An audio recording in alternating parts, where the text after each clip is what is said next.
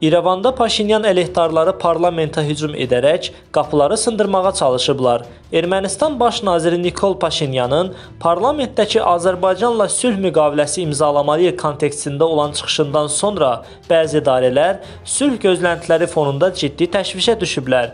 Qeyd edək ki, hazırda cəbhədə döyüşlər davam etməkdədir.